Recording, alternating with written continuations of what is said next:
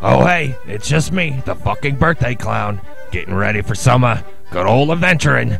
You gonna join me? Oh, this'll be be fucking great. Me and my friends. Oh, and don't forget my little bastard sidekick.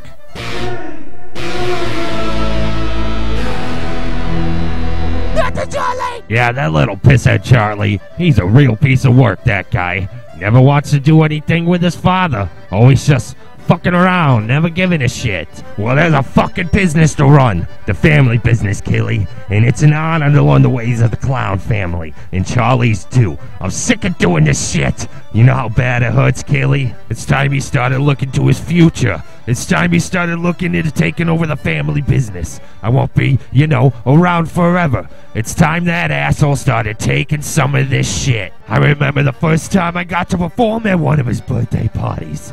It was the most amazing, magical, sensational moment. It really livened up the place. I mean, people were running all over. It was a beautiful day, Killy. So beautiful for magic.